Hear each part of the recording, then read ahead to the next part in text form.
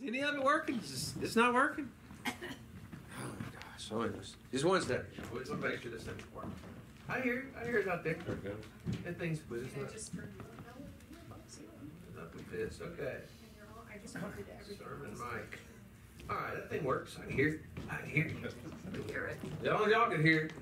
We hear you just. All right. I know y'all hear me enough. You don't need to hear me anymore. Look, I got confused. Oh, I don't know, confused. But we we opened up a big old can of worms last week talking about money. Yeah, you did. Yeah, and uh, and then I'm like, oh man, where do we start? So I thought we started Genesis, and I got some kind of analysis. I, I learned some stuff. I really did. Uh, money's all up in the Bible, and uh, uh, but it doesn't. You know, it's not like capitalism and money. And it says God and mammon, and we don't use the word mammon. There's a bunch of language in the Bible that, like, we have this American version of, so like we don't even understand what they're talking about like God's kingdom, like the kingdom of God. We're not looking around we don't see kingdoms. Like you, you know what I mean? Like you- you think of like some like some king, like you know Prince Arthur or something, you know, and it's like weird and archaic and old, and we don't see it that way, and like we just see stuff different. And if you don't understand a kingdom, then you can't understand God's way of doing things. He's king. It's not a democracy. It's like he's king and there's servants and and everything. So there's a lot of stuff in the scripture that way. So you have to be a little bit imaginative. So, uh, so, so it doesn't say that much about money in uh, Genesis, but what represented money for a long time? What has always represented wealth in the world before there was paper money? You know, where they could print. Possession. Yeah, yeah. If, if you take, if you get fiat money out of the way, what's left? You know, you have gold, right? Gold was considered like Gold, like you know, it's like considered the you know wealth. I mean, yeah, you have cattle, and I'm saying there were people who were rich and that kind of stuff, but they had gold. And so I saw this thing where you uh, like where you looked at gold, and Genesis has got a bunch of mentions of gold, and it's kind of profound because gold is like what else is it? I mean, we value copper and, and, and everything, but why gold? Why? What's so good about gold? It doesn't corrupt. Uh, it, it, it doesn't tarnish and fade away. It just kind of lasts. And so, uh, so gold might uh, uh, be a good way of seeing what God says about uh, wealth and how it was originally intended. There's another thing in the scripture, and this is sort of an interpretation sort of thing. But like for for instance, like there's rules for interpretation. One of the major byproducts of us being here and talking every week, I hope, is that we can all get a sense of how we ought to read the Bible responsibly. So, for instance, like one rule of interpretation is context. You know what I mean? So, if you have a verse and it's right here, you can't just arbitrarily decide what that verse is without reading the ones above it and below it. You know what I mean? And if it doesn't work with the ones above it and below it, you're taking it out of context. The other thing you can do is you take the Bible and you, they call it proof texting. You can say, well, obviously, you use this over here, this over here, this over here, and what we've done is fashioned the Bible to to support what we're saying, instead of reading the Bible and saying what it's saying, or at least trying to understand what it's saying. So that's important. Another ma- major thing in, in Scripture, you got to define words. That's a big deal because a lot of words, you know, it's the original language stuff, and it's not that hard to do, guys. You can just type it in and Google it and be like, "What does this word mean?" And most of the time, it's like sand means sand. Like it's, but but it's good to know the language and stuff. Just like kingdom, you know. Oh, well, we understand what kingdom means, but do we really? Have we ever lived in a kingdom? You know, and, and, and we should study that more and say, no, no, no, no, no. It's not democracy. It's not autonomy. It's a kingdom with a king and has a domain and there's an authority and an authority structure and their delegates, delegates and their stuff and there's a place and that king is in charge of there. And we should be thinking of God and us and stuff and how we uh, fit into that narrative and saying, well, so God's really, you know, this way or that way. You know what I mean? And so we do that and all the time, like friends, like just get on. You, there's good people, bad people. We're talking about God, what God does, what God doesn't do. Uh, and so we just have to be careful about that stuff. A huge thing that you could do for interpretive uh, practice to try to understand what God is saying about something, God doesn't change. And so his scripture is, uh, uh, is whole, it's comprehensive, and it's whole. And so there's this thing called the law of first mention where you, you, God, God doesn't change. And so the things that are introduced early on, he doesn't deviate from those things. Like if he introduces it in Genesis, that theme remains and is built upon through the scriptures. It's not like he starts in Genesis and he's like, "Well, I changed my mind, changed a bunch of stuff up." And it seems like there's some stuff like that, but God just doesn't change. He's building on himself. He doesn't have to do that. And so all the scripture, the, the tapestry of scripture weaves together beautifully. Okay, the themes and motifs are perfect. And so listen, if you want to understand something about the Bible, it's great because you look all through the Bible and get a great picture of what God is saying. You look in the context in Genesis, you look in the context of the Old Testament, look in the context of Psalms, look in the context of Proverbs and wisdom books, and then the context in the Gospels and context in the epistles. And all that stuff is going to be showing you what God is saying, has always been saying about stuff, right? And so we look at gold. And gold in Genesis. Gold is mentioned eight times in Genesis. Now, I'm not big into numerology and all that stuff, but it's mentioned eight times. And uh, that stuff's important because, uh, because it just is. Uh, uh God uh, mentions it eight times. So, like, number one, you know, one is unity. Just so you know, like, one is unity in the Bible. Two is uh, separation or holiness. Three is the number for God. Four is the number of the earth. You know, there's like four winds and four corners of the earth, which is curious. Four corners. Uh, four seasons. You know, so four is a number for the earth. Five is number for grace. Six, number for man, also the number for falsehood. Seven is the number for completion. We know seven days. Eight, though, what's eight the number of? Infinity, okay, or eternity, or abundance. You let that letter eight fall, and it becomes infinity. You know, and so uh, the number eight. It, so a lot of people think everything in Genesis was on purpose. For instance, the first mention in the in Genesis of love. They used to do this. Rabbis would do this because their students would have to memorize the whole Torah. So they would say, "Where's the first mention of love?" And they would have to know where the first mention. Well, the first mention of love in Genesis is when God says, Abraham uh, says to uh, Abraham, take your son, Isaac, your one and only son, whom you love, to the mountain and sacrifice him there. So love, it's, isn't that cool? Because you see the first mention of the whole Bible love has to do with God directing uh, the, the patriarch to go and to sacrifice his son on behalf of God. It was just a crazy thing to do. Uh, and it's a picture of God's love, right? So like you start swimming around and you you it's fun because you'll connect all these dots and, and it'll it'll it'll it'll increase your faith. It'll help you because you'll you'll say i'm not just making stuff up here. We're not just getting these things from nowhere. There's a rich history here and there's a lot to be gained from our study. So uh so anyway so so eight times in the scripture gold now here's the thing that i feel like i've learned from this.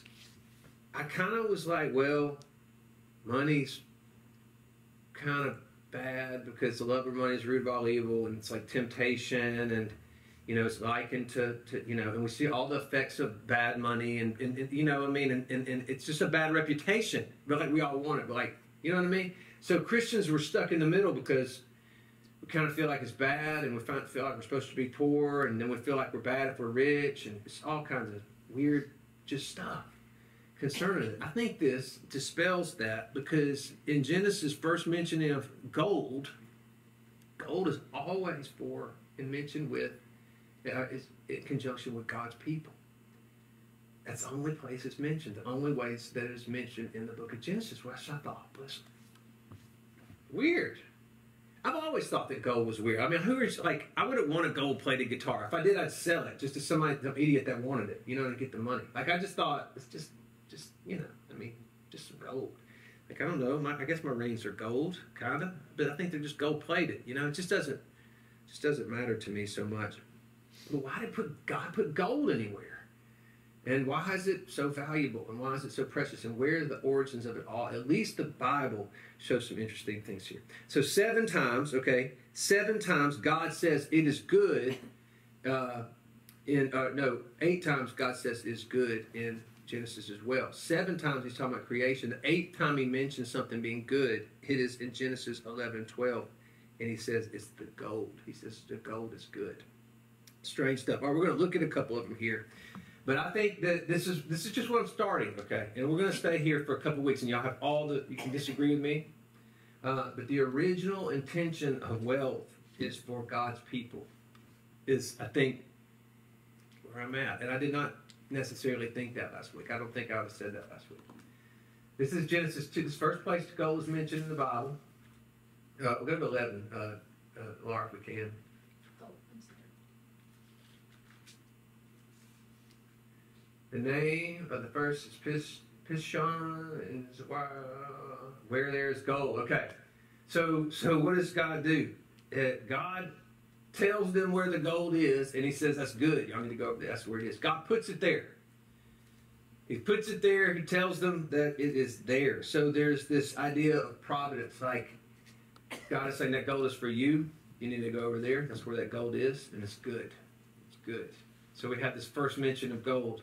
He's locating that gold. He's saying it's also there. The gold of that land is good. Who's he talking to? He's talking to his people. Go over there. If I told you, hey, there's some land over there, go, the gold is good. You're going to go and sell everything you have and buy that land because that's what you need to do. Because there's a reason for that, is the point. All right, Genesis 13, 2. All right, it's the next one. Abraham, talking about Abram, Abram had become very wealthy. Not just wealthy, but very wealthy. That's the father of your faith. Is it bad to be wealthy?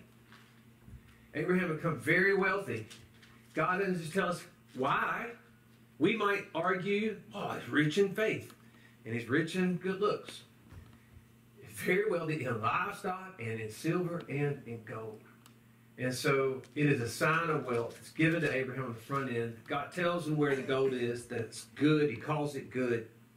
And so it's supposed to be possessed to some degree, at least from this, by God's people. Abraham had become very wealthy in livestock, in silver, and in gold. Uh, there's a place uh, a little bit down, or yeah, further down. So Abram is going to get, uh, he wants his son to be married. Abraham's very rich. He sends out his servant. It's a beautiful story. You can read about it in Genesis 24 to go. And the servant goes to find uh, Isaac a wife. Uh, and uh, the servant goes, and when the camels had finished drinking, the man took out the gold nose ring and gold bracelet. He starts giving gold out. He's like, hey, I'm, I'm representing my master, and I'm trying to look for a wife, and uh, here's some gold. and look, what, as you can imagine, like he's people are glad to help him out. Like, come on, like, here you go, where you need to go. Everywhere he goes, he's giving gold to these people. And they could, are convinced very quickly that this daughter needs to be married off to this man because this man needs a husband, uh, I mean, a wife, and everything that the, the master has is going to be given to this son. And it's a good thing, it's a good deal. And that gold was proof of that, a surety of that. And so it was proof of God's blessing, okay? It was, it was almost assurance that God was blessing. It was afforded uh, in order to get things. And so this guy is giving people gold. All right, the next mention is, uh, well, here you go. The Lord has blessed my master abundantly and has become very wealthy. Has given him sheep and cattle, silver and gold, male and female servants, and camels and donkeys. It's just showing wealth. Uh, I think there's a couple more where they keep mentioning gold. You can go to the next one, Laura. Okay, this is the next one. So that was the, uh, that story. All right, this is the only one where gold is mentioned. It's not fully in conjunction with uh, believers, okay? Pharaoh. But what's Pharaoh do? He takes off his gold ring and, and, his, and his gold chain and he gives it to Joseph. So you have this provision once again. It is symbolizing God and God's provision to his people. It was his people. It was for it was for his people. And I really can't come up with any other conclusions about it. I'm just talking about first mention, book of Genesis, and we're talking about gold, which has represented wealth in all of cultures for all of humanity. To me, that's new. I don't know. I'm like, that's new. I, I just didn't think that, and I and I didn't think about God creating this stuff and wanting it to be used purposefully and used well, and and it's not. And uh, because because you probably already asked the question. Well, God designed gold and wealth to be given to His people, and He wanted them to be rich. Why would He want to do that? What would be the purpose there? And why is that not happening today? Right? Like you're like, well, I'm not. I mean, why are we not rich if we're following God? These great questions. I don't know that I can. Uh, I can answer all of them today. Uh, but I think that those are massive things to consider. You have to look at the whole, and I'll explain to you guys what I think uh, here with the time we have. But it says, uh, let's see, get my handwritten notes out here a little bit. So here's here, here here's where I'm thinking. God is a God of abundance. He says, "I've come you might have life and have it to the abundance, have it to the full amount." You look in uh, the, the feeding stories, feeding five thousand. It's proving God's God of abundance. How much do you have? It's enough. Start passing out to people. There was more than enough. They took twelve baskets away. Why twelve baskets away? Master, why 12 baskets away? Because each of you boys need to remember the lesson today. Carry your basket. There's more than enough, okay? God is a God of abundance. He's saying fullness. He's saying freedom. He's saying eternal life. He's saying quality, quantity. He's saying blessing, joy, peace, abundance. Like those, that's the language of God. It's not the language of Satan. Satan's language is slavery. Like God's a king, he wants you to be a king too, just under his command. A daughter under his command. Satan is a king of the world. He wants you to be a slave under his command. They are so different. Satan is saying, not very much, not a lot. You don't believe me. What's the first temptation? First temptation, Jesus concerned a lack. It concerned his flesh and a need and a lack. And this temptation is that there's not enough and you got to. You got to make more. Satan's always getting us shrewd, getting more and greedy. And there's not enough and we have to worry and there's got to be fear and there's got to be anxiety and there's got to be, you know? That's who has an interest in doing that kind of stuff to us. The three things, the three ways that he has attacked us the world, the flesh, and the devil himself. If you look at those temptations, the, that first temptation is an issue of the flesh. Jesus was hungry. Right? And there was a lack. He's like, why don't you create that? Use your power to create that. All right? The devil is obviously the devil. We know that. But the, the, what's the world? Um, I, have got written here, and I think it's uh, that the, the world is like this ambition that we have. Like we're tempted to uh, to uh, we just want to be seen good, you know, in front of people. So like the worldly thing is to always sort of chase that. And Jesus' second temptation is like, he's like, look, you throw yourself down, it's written about you, and people think well of you. And because God will save you, He'll bear you up so you don't dash your foot against a stone. So that was a worldly temptation about what people thought. About what people thought. Uh, in Luke 4, can we do Luke 4? There, it might be hard to do, but Luke 4, there's this other temptation, and it's Satan doing it himself it's different than Matthew, and I should have put this in here, Laura. I'm really sorry. But it's different than Matthew because he takes him up to this high place so he can see all the kingdoms and all everything in the whole world. He's like, and what does Satan say? He says, all of these, uh, the devil led him to the high place, showed him in an instant all the kingdoms of the world. Now, look, I was telling you, kingdoms, right? Kingdoms. And he said, I'll give you all of their authority and, and or power and glory, it has been given to me, and I can give it to who any to anyone I want. Did you know? Did you know that it has been given? It's been given to him. So to me, this is just where I'm at this week. Uh, God wanted us. God intended for His people to have that, to use that, to bless the world to protect the world, to help the world, to be a vice regent, to use that. It's good. It's not bad. It's good. It's good. But we did it. We misused it. And see, Satan didn't have any of that authority. He got it from us. We gave him that authority. So the way that a kingdom works is you have a king. Now, you guys in the military understand this. You have a person in charge. And authority is all about alignment. Okay? It's all about alignment. You just have to align with your authority. I mean, spiritual authority, all authority works the same way. It's not a matter of do you want to do it or not. It's a matter of what did your authority tell you to do, and are you going to do that or not? And if you don't do that, then you're outside of your authority. And in God's structure, we're under His authority. And the reason why we're under His authority is got work for us to do. We're authorized towards specific tasks and stuff in the world. He authorized to do this. God creates in the beginning. He creates creation, like God says, let there be light, and there's light, it's creation. He creates creatures and creeping things and living things and plants and everything. And he creates us, which are more like creators. Or like we're more like these vice regents. We're like little mini gods. And we're supposed to be in charge of the world and the creatures and the animals and everything. We're supposed to take care of it. That's our job, okay? To fill the earth and subdue it. That's a creation mandate. It's what we're supposed to do. And wealth and gold also to be a part of that, to accomplish those purposes. But we gave that authority away. We didn't do that like we were supposed to. You look, Cain kills Abel. And next thing you know, Cain is building kingdoms, and Seth is building Seth is building altars.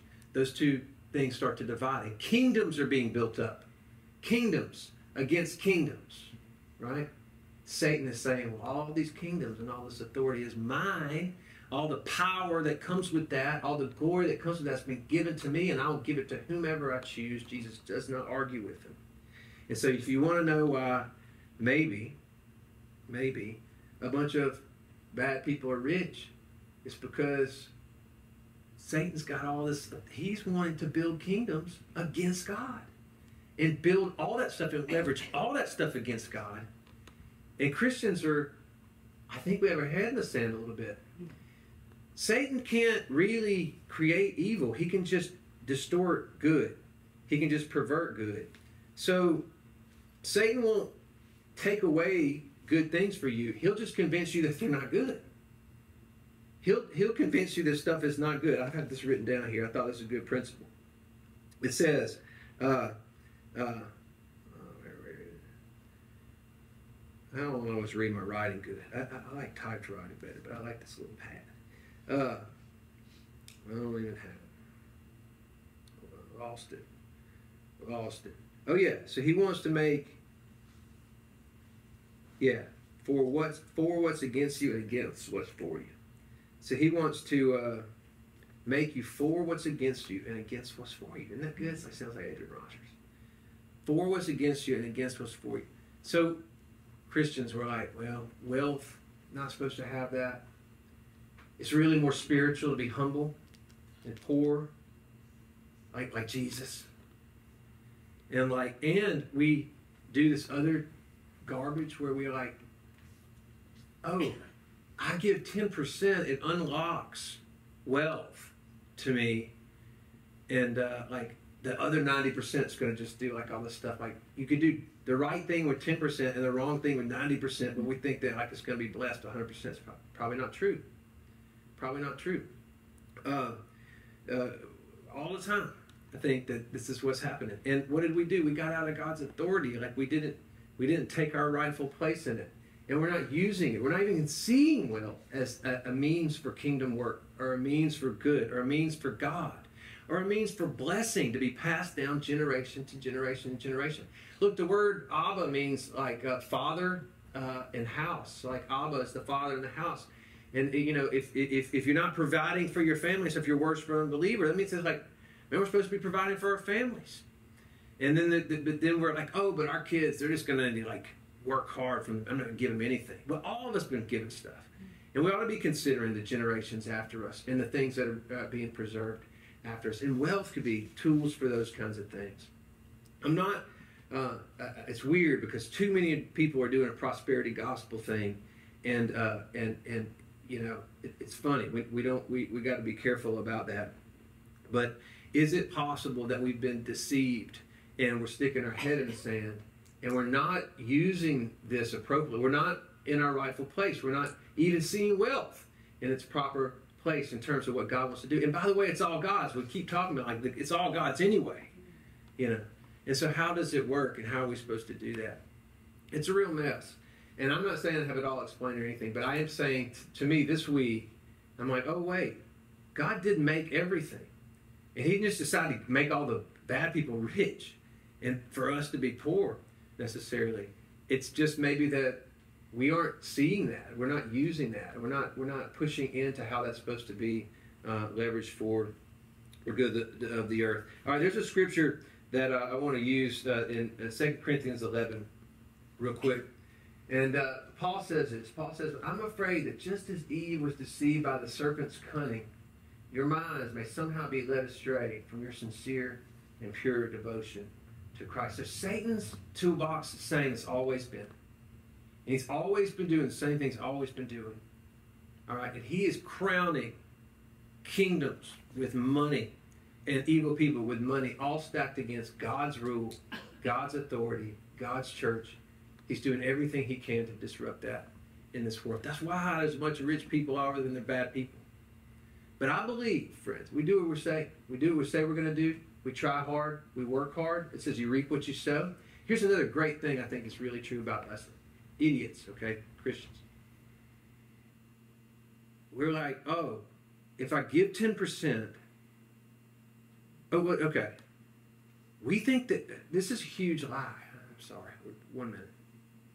We think, we believe in magic. Like, we're like, oh, if I give God 10%, it will be magic with the other 90. Like it will magically be blessed and magically multiply. Magically, I won't have to worry about it. Magically, I won't have to keep a checkbook. Magically, I'll spend the kind of money I want to. Magically, I can have all the blessings that I want to. And magically, you'll go broke. Because it's working and saving and being responsible and actually just caring. Do you think God cares about your money or not? It's a huge portion of our freedom, our life, our everything, our identity. It's all wrapped up in there. Do you think God cares about that? Yeah. He doesn't just care about the 10%, He cares about the 100%. And I'm not saying give it all away, I'm just saying manage it all. Steward. We know in the scripture, He tells one talent to one guy, uh, two talents to another guy, five talents to another guy. He wants stewardship. Give it a guy to the one to the guy that's got 10. We got work to do. Stewardship. So all we have to be asking is are we God's people? Are we God's children? Are we aligned with his authority? If we're aligned with the story, then all the provision, all the protection, everything that we be, will need will happen. And look, apple trees don't don't push hard to make apples. They just be themselves, and the fruit will come. I don't think that we need to go out trying to get rich and everything. But if you will do what God tells you, I think if you if you use the principles God's used you, Go look in Proverbs. He's saying, well, pay attention to the ant. You know, like pay attention. Don't be an idiot. Like he says, hey, if you're going to build a tower, well, make sure you got enough to build it. You know, like there's all kinds of stuff in the Bible. It's like don't be don't be foolish. So how foolish is us to believe because Satan would want us to? Oh, don't miss, don't manage your money or anything. Don't think about it. Don't think about it in terms of God or anything like that. Just give him ten percent and just believe in superstitious magic that you're going to be blessed somehow financially by that. It's never going to happen. And look, most of I've a lot of, a lot of financial friends, uh, financial planner friends. I tell them all, I'm like, your job is not making much of money in the stock market. It's true, but most of those marriages need somebody to show them simple budgeting. most people get divorced over money. You know that. They need simple budgeting, simple accountability. Like just manage your money. You know why? Forbes did this. Now this is going to sound like I'm you know, pulling out on God. I'm not. Forbes did a thing. They said, why do religious people that give 10% away do better than if they kept their 100%? Is it magic? Forbes is not believing in magic. They're believing in counting numbers and dollars and cents. You know what they found? The reason why Christians can do better on 90% than 100 is because it forces them to budget. It just you have to budget because you got to find the 10% and you're, well, we're going to do without 10%. Man, we got to budget to make sure that we can afford to do our stuff. And then you actually budget and you actually keep your money good and you keep each other accountable and you have more on your 90% because you budgeted because it forced you into a place of budgeting than you would if you'd just done whatever you wanted to with 100%. So it's just basic. It's just common. And to me, I'm seeing all this. I'm like, this makes sense to me. There's a cosmic battle.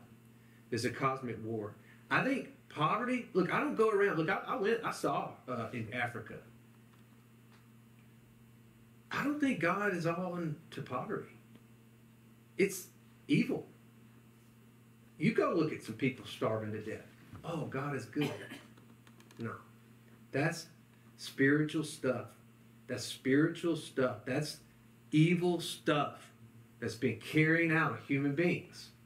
We're supposed to stand up against that not right, not acceptable. Take care of the poor. Take care of the oppressed. Take care of the sick. Take care of the people that came. How are you going to take care of them? You can't take care of yourself, but we're going to take care of everybody else. Well, no, Christians aren't doing their jobs because we're not worried about taking care of anybody else. And they're like, oh, the poor will always be with you. We're just making up excuses because we don't want to deal with it. We don't have to see it. We don't want to worry about it. Well, God, how can God keep blessing us then? Because we're just building bigger barns to store for ourselves. It was never for us. So I think we have to get kingdom minded. Look back at the first mentions. What was God uh, uh, wanting me and you to be? Kings, queens, rulers, have dominion, carry out his plans. You're God's man, you're God's woman. Who's going to go to the school and be God's man next week? The people that decide that they want to be God's man. The people that get on their face and say, God, I want to do what you want to do. I have to empty myself out. Look, blessed are the poor in spirit. Hey, if it, it said, blessed are the poor, I would have understood that. But if y'all ever read, it's like, blessed are the poor in spirit. What does that mean? I thought it was supposed to be strong in spirit. I thought it was supposed to be improving in spirit. No. You're blessed because you're saying, God, I'm totally spiritually bankrupt. I'm totally all bankrupt. I'm totally gone without you. And God says, Well, yours is the kingdom of heaven. You gotta, you gotta submit. The first thing that it says, like, I'm not in charge. I'm not the authority guy. It's not my agenda anymore. I'm running my world. It's doing nothing for me. I'm, and you realize that. Like you can't do anything with somebody that doesn't realize that. Like in Proverbs it says, you see a man that's wise in his own eyes, more hope for a fool than for that guy. Mm-hmm. You ever seen anybody you can't teach him anything? More hope for a fool. And we're all walking around and we're so good and so arrogant and we want God to bless us. And he's like, it's more hope for a fool. You guys are worse than unbelievers. You guys, you're left out on your post. You've lost all your authority. You wonder why you're tossed to and fro. You know, you're all in the world trying to make everybody happy. You're giving in to all these fleshly desires. And the whole thing, I mean, look at the wisest man on earth. We're going to talk about Ecclesiastes. You know, uh, Solomon was blessed. He was wise. He said, God, I want to be wise. He was God's man. God gave him all this wisdom. And then all these women started coming in. He let all his these women turn him away. And you know, Proverbs written like he was in a good spot, and Ecclesiastes written when he's like all messed up with 800 women. And uh, by the end of it, he's like, man, it was all a stupid thing. It was all a bad experience. And then at the very end, he comes back. He's like, you know what, though? The duty of man is to, is to fear God and keep his commands. And so, like, yeah, it really does matter, friends, if we decide we want to obey God or not. It really does matter. In fact, in fact, everybody that hates God, hates the Bible, and doesn't like it, doesn't understand this, thinks Christians are prudes and everything, I guarantee you, I've done it. It's me too. I guarantee you, here's the problem. They're not obeying it. They're not submitting to it. That's the operative language. Like, it will not work until you click, submit your will to Him. And remember, that will is just yes or no, like choosing God or not choosing. If you submit your will to Him and surrender to Him, it all becomes operative. It all starts to flow. It, bing, it all turns. And I'm like, how did I not see this? How did I know this? How do other people not realize this? It's because I'm all of a sudden in the flow again. I'm all of a sudden in that life again. And then when I start sinning, moving on, and getting all off, then like, God's not doesn't care about me. No, I behaved myself away from God. And, I, and, I, and I am not keeping his commands, not trying to love him, not trying to keep his agendas first in my life, not seeking first the kingdom, but I'm expecting all this stuff to be added. It's crazy.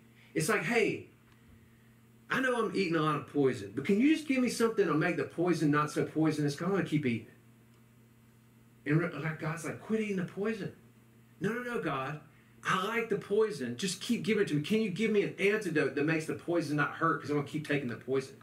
He's like, this dude's done. Until you keep taking the poison of the world and quit trying to make everybody happy and please everybody and fill your own stomach, you're just going to keep having this trouble. And it's not going to work. It's not going to work. It doesn't work. Because why? We're not doing it His way. Jesus says, yeah, unless you forsake all and follow me, you cannot be my disciple. You cannot. You cannot. He's not being ugly. He's just saying well, it's, it's not going to work. It just cannot. It's like if you don't put on fire stuff and get a hose and go out to the fire, you cannot be a firefighter. You know, it's like it just will not work. And, and we're like, you know, we're like doctors having an affair with the doctor. You know, we're like somebody having an affair with the doctor's wife, and we're like, but I eat an apple a day.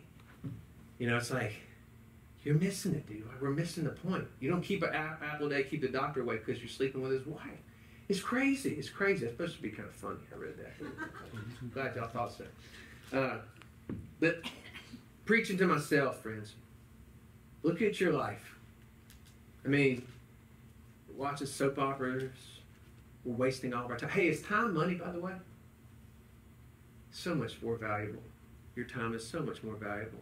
If you spend all your time making money, you'll have a bunch of other people's money in no time. And uh, it'll be given away to somebody else. And I can prove to you time's not money. If I were to say t- to any of y'all, give you a million dollars today, who wants it? I have it. Anyone want it? But, but your life ends tomorrow. You want the million or you want your life? We'll take the life. Right? Time is not money. We can't be doing this stuff, man. Like our life is God's. And our hearts are God's.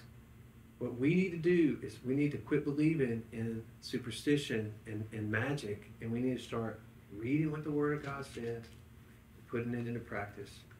That's it. Look, the safety of interpretation will be held by us because we won't get too far off because we'll be comparing notes and we'll be keeping each other accountable. And friends, I guarantee, uh, because it because God is faithful, when we do things His way, it will work out. You run your business God's way, it will work out. I think so. You know, people wonder why Chick Fil A is doing good. They put Christian principles in there, and the world hates them for it. Still lines up to get the chicken. So I really do think that God it, it, it is it is a blind fool's game, but you can run after God and love Him and do fine in this world, and we won't have to fret, won't have to worry, won't have to be struggling and scared and living in that thing where we're all tight and worried about it. That's not what God wants us to do. God wants us to be a blessing and be uh, able to help people. Here, here's a good thing, and I'm so sorry we're late, but here's a good thing that you guys can do. You want to know what biblical giving is to me? Look, the, the church won't make it if you guys don't give. It, it, the church down the street won't make it if they don't give. I mean, that's that's it, you know. But purpose in your heart to, to, to, to put some money away, okay? Decide how much you need. Get you a budget. It'll help you. You'll have a lot more than you need if you stay in budget for a year, okay? Uh, it's a struggle. I know it's a struggle. Uh, but set aside some money every week, and it's God's money. And you tie it to your church. Do whatever you want, but put some money a little, a little, because because see, you don't end up giving ten percent if you're Jewish. You end up giving like fifty or sixty percent. It's kind of sad because they want them to like give like free grain offerings and sin offerings and tithe offerings and priest offerings and new moon offerings and festival offerings. And then they're supposed to like do all this stuff, and then like on the seventh year, they're not supposed to do anything. They're supposed to just rest for a whole year. So you got to save your money for six years, and then you're supposed to leave the sides of your field so that the poor people can get that. Like you add it all up, and Jewish people are giving a lot away because it wasn't just about them, right? So set aside some money, and just don't touch it. You just set aside, and that money might grow. Maybe it'll grow. Maybe a thousand dollars. Maybe five thousand dollars. Maybe ten thousand dollars. But when you see a real need, you'll be able to meet that need. I, man, it used to happen all the time. Hey, you need a bus ticket? Hey, this will this will cut the crap too. They need $150 to get their bus ticket to you know Minnesota. You'd be like, it's your lucky day, baby. Let's go to the. I will buy the ticket. I'll buy you two. I'll get you some food for the ride. They'd be like, uh, I think it's late. I don't think if I can be here today. You're like, uh huh. You didn't need I'm not trying to be that. I'm just saying. But you can meet the need. Uh, my mentor, my old mentor, did this. He kept money for years because you're looking for real needs. God, is that a real need? Because you want to bless. You need to be a blesser. You need to be able, right? You need to always be able to help. Be prepared in season, out season. So you're ready, equipped for every good work. That's what it says. Equipped for every good work. So you're ready to bless, to help. And you save it up. You don't know what it's for. My friend did that. He had about $10,000 he'd saved for about six years. God's money. And then he found out in their church there was a family that didn't have insurance and their son had to have a heart uh, surgery. And it cost a whole lot of money. It's God's money. That's a lot of money. But he knew that was for him. And so you will be a part of God's plan. and like involved in his work. If you'll take your money and leverage it towards kingdom. You get it? That's it. That's all I would say. Let me pray, and we'll be done.